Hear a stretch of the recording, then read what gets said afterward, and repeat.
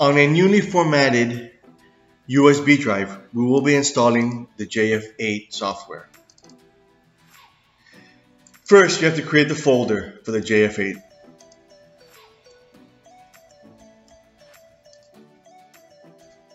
Then, we will be going into that folder to install the software itself. Here you can see is the folder for the software for the JF8 if you go into that, you will see there's six files here. Now, we will be installing the coin configuration software for the JF8.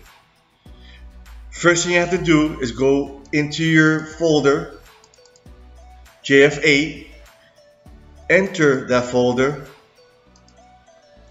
then paste the JF8 coin configuration software.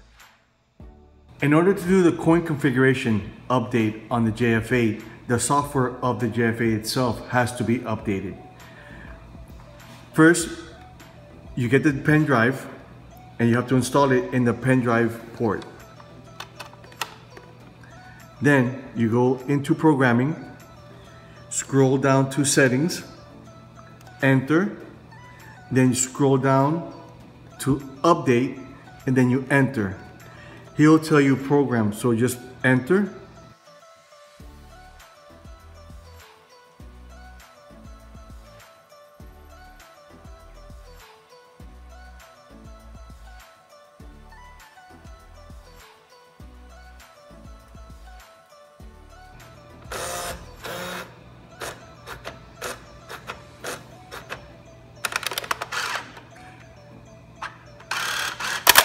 Once you have the check come out, then the software was updated. So if you go into if you go into the main menu and scroll down to settings and information, it will tell you.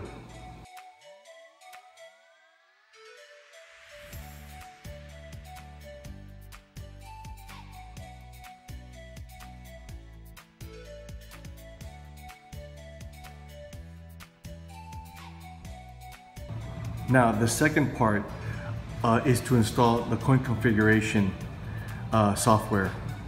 Now, after you install the software for the programming of the JF8, we have to get the pen drive, put in the pen drive port, go into program, scroll down to settings, enter, scroll down to update, then scroll down to factory settings. Here you just press OK.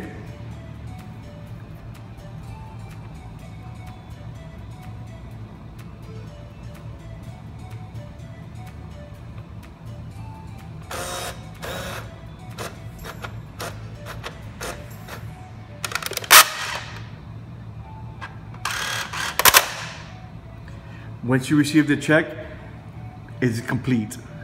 Now, after you have done all this, you can just go into set programming again. Press yes for English. Now scroll down to settings, enter, go into information, and you can see that software was updated. Scroll, continue scrolling through the, the options. And then when it says factory settings, you can see that you had installed the coin configuration.